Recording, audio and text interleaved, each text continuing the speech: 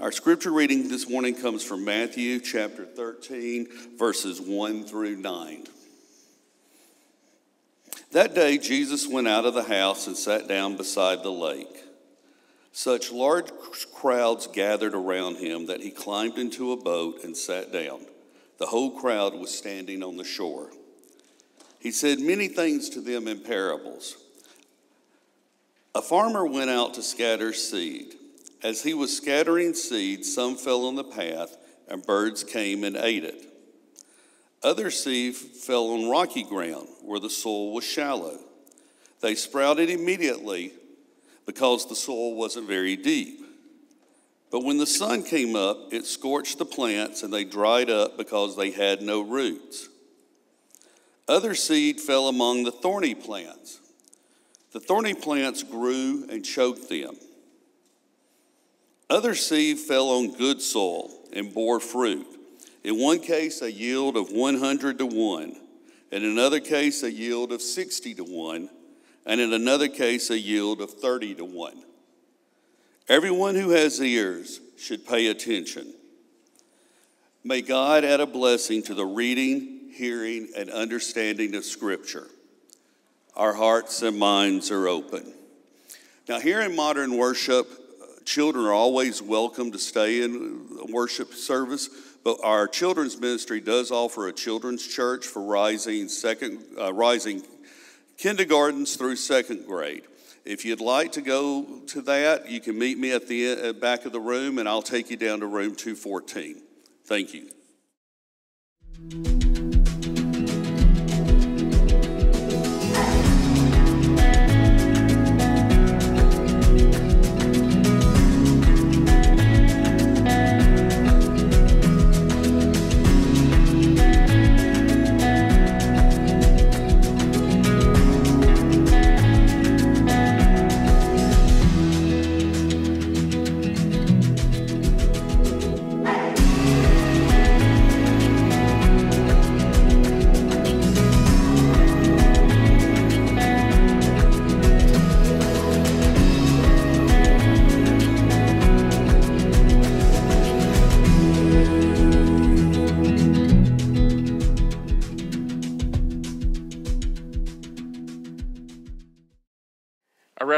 Article this week about a uh, man who had a, a, a pretty good life. Uh, he had a very loving spouse, he had a really nice home, he had two very healthy kids.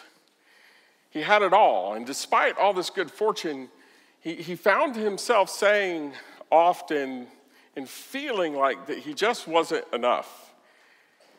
His inner voice would say things like, I should be more successful. I should make more money.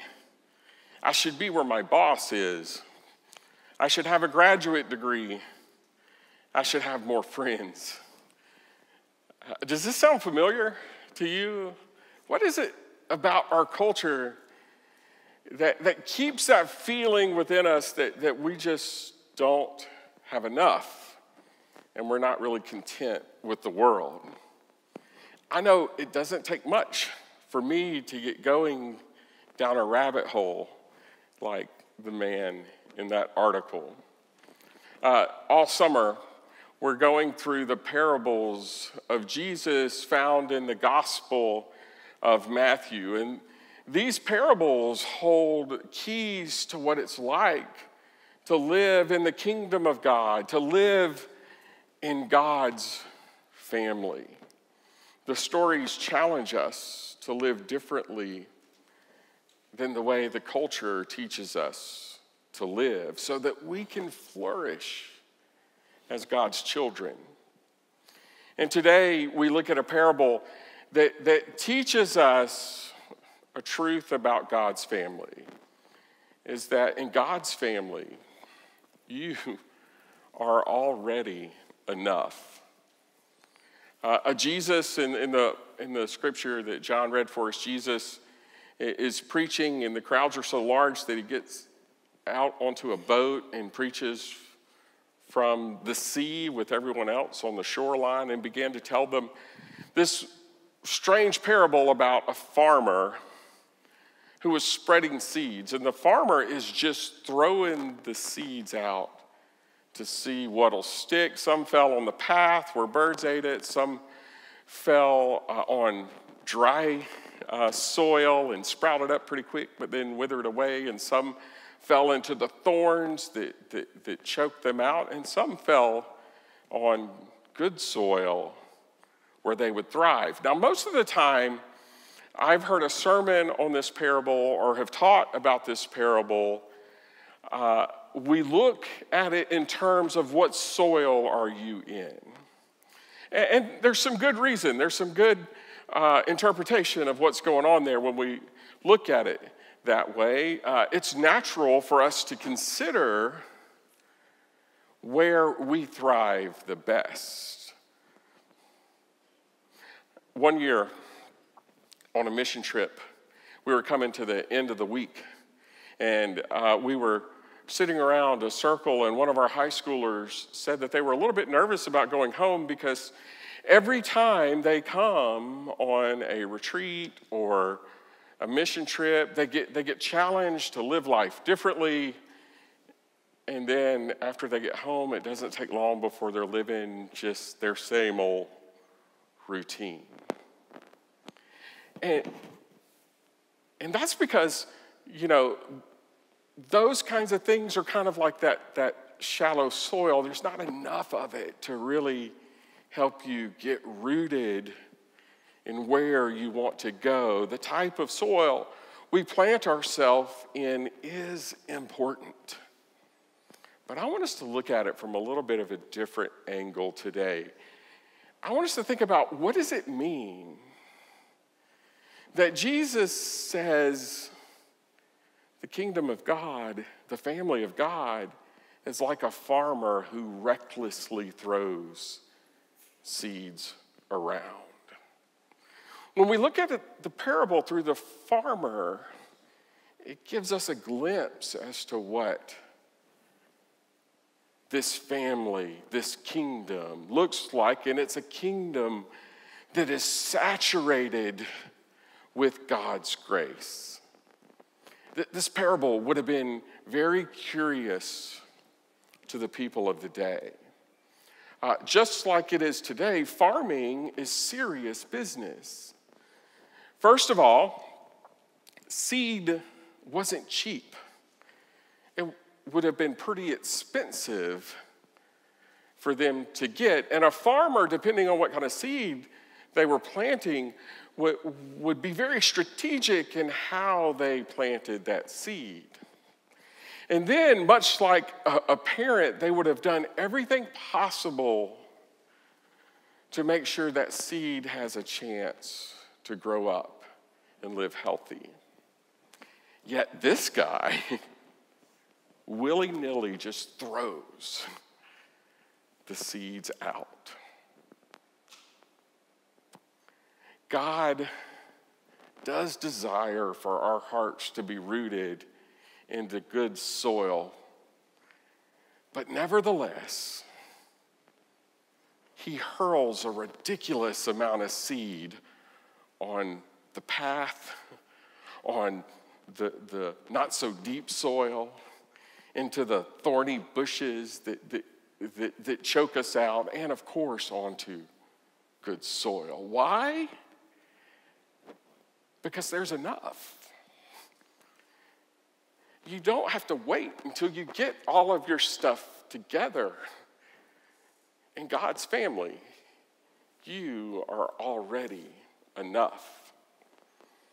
You know, we don't have to uh, look on life with the fear that we're not good enough to be a part of what God's doing in the world.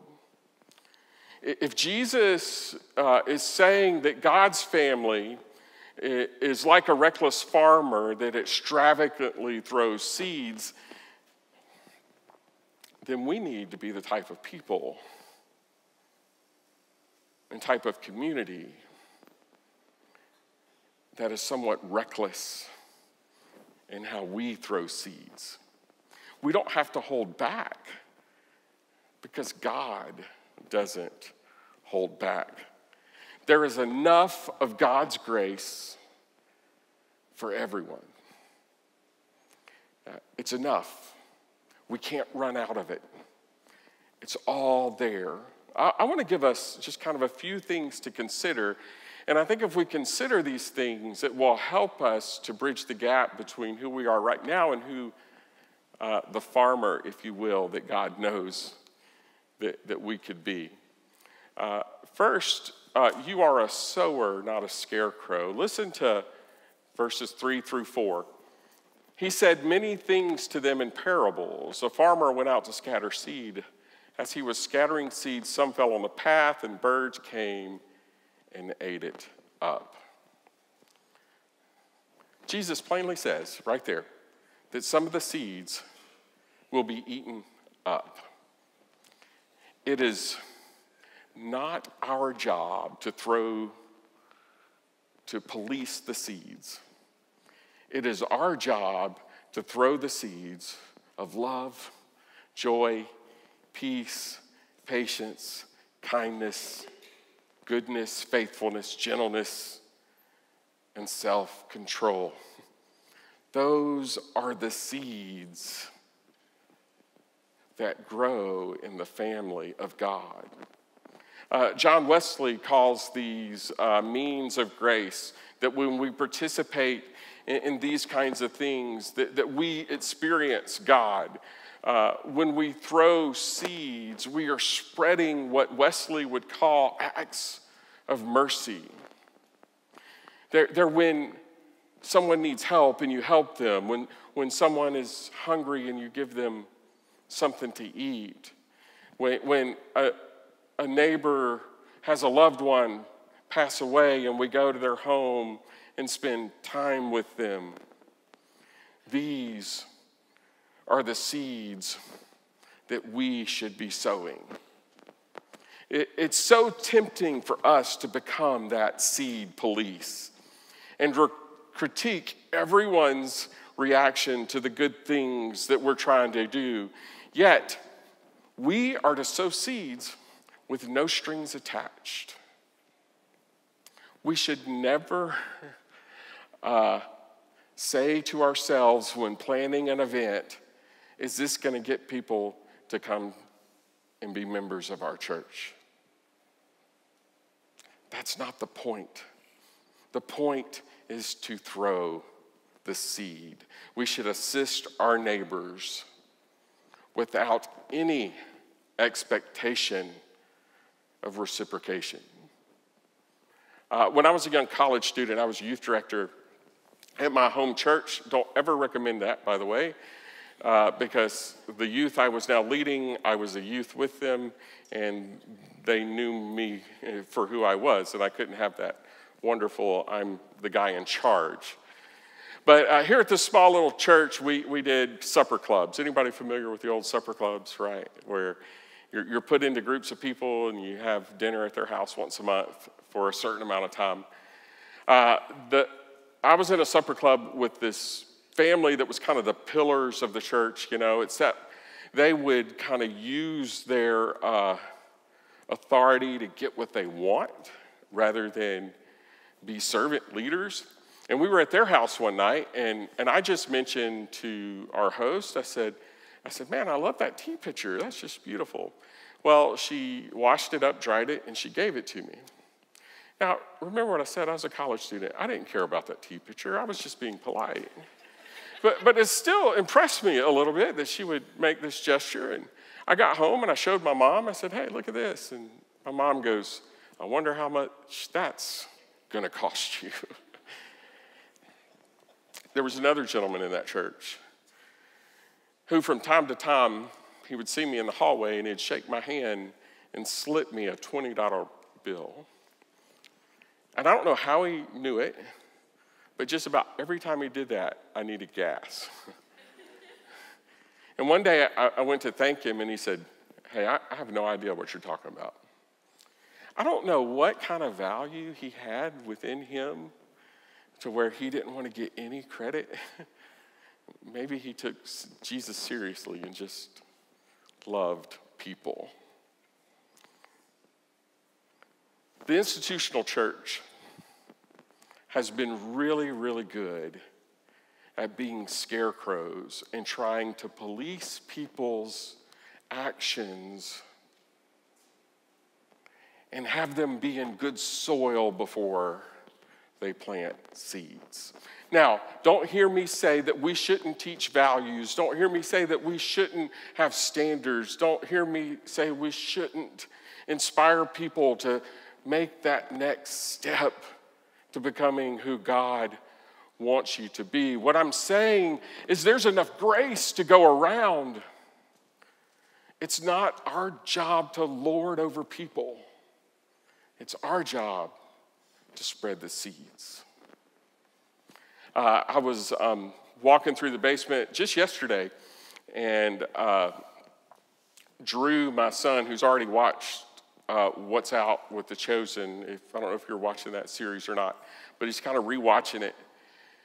And uh, I haven't started watching it yet. I've seen the first, only one full episode.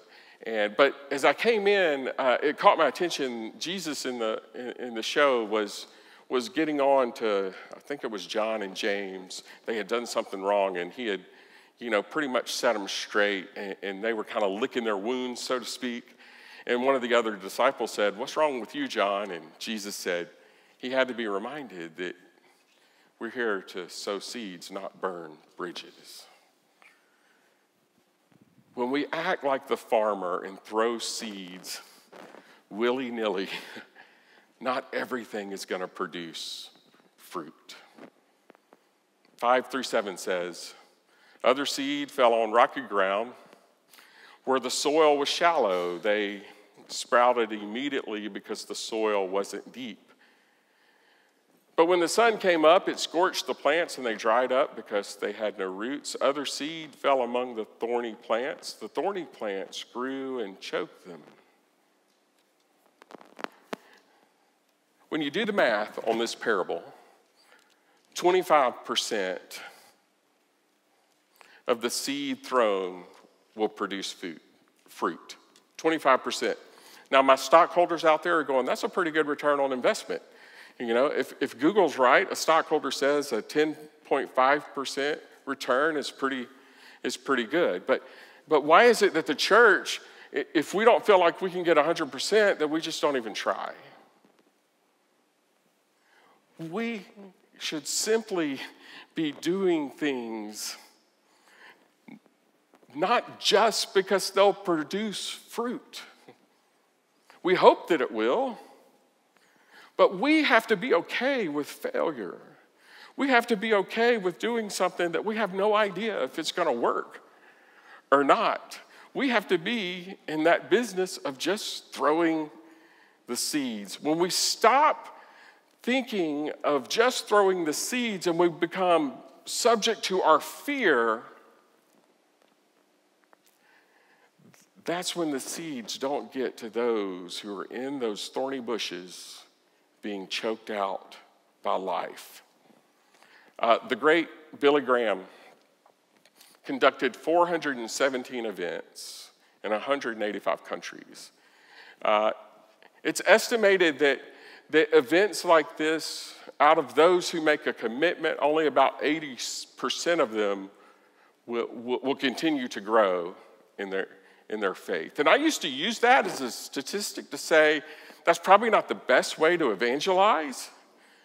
That relationships, probably you get more of a, a bang for your buck, so to speak, to build that solid relationship. But what I failed to realize is that Billy Graham was in the business of throwing out seeds. It's estimated that 2.2 million people made a commitment to be a follower of Christ through a Billy Graham crusade. This means that 1.7 million, if that other formula is right, did not follow through on that commitment and did not yield any fruit. That's not to count the people who didn't walk the aisle, who just heard the message and, and didn't respond at all. But you know what? About a half a million, 440,000 people came to find a new life in Christ through Billy Graham sowing seeds. The miracle is in the harvest. Verse 8 Other seed fell on good soil and bore fruit. In one case, a yield of 100 to 1. In another case, a yield of 60 to 1. And in another case, a yield of 30 to 1. You know, once we get into the habit of sowing seeds on a, on a daily basis, it, it might tend to become automatic. Don't be fooled by thinking those little things that you do on a daily basis matter. The Gospel of Matthew makes a case for what God's family, God's kingdom looks like. In Matthew 25, Jesus talks about what the final judgment will be like. And the message paraphrase puts it this way Then the king will say to those on his right, Enter, you who are blessed by my Father. Take what's coming to you in this kingdom. It's been ready for you since the world's foundation, and here's why I was hungry and you fed me. I was thirsty and you gave me drink. I was homeless and you gave me a room. I was shivering and you gave me clothes. I was sick and you stopped to visit me. I was in prison and you came to me. Then those sheep are going to say, Master, what are you talking about? When did we see you hungry and feed you, thirsty and give you a drink? And when did we ever see you sick or in prison and come to you? The king will say, I'm telling you the solemn truth. Whenever you did it, whenever you did one of these things to someone overlooked or ignored, that was me. You did it to me. What I love about that passage is that they had no idea that they were even sowing seeds. It's kind of like what Michael Bowman says from time to time an orange tree doesn't have to think about creating oranges, it just makes oranges. They just did it. Over and over and over again, God uses ordinary people like you and like me to sow the seeds of love, joy, peace, patience, kindness, goodness, fairness, and self control. You never know. You just never know what seeds you throw out there is going to produce an amazing harvest. We don't have to hold back. There's enough. There's enough for everyone. You don't have to wait till you become a spiritual giant and full of knowledge. In God's family, you are already enough. Let's pray. Oh God, we thank you. We thank you for loving us so much that you'll reach out to us when we're, when we are in the darkest places. God, help us to be the type of people that do the same when we see folks in need. In Jesus' name, amen.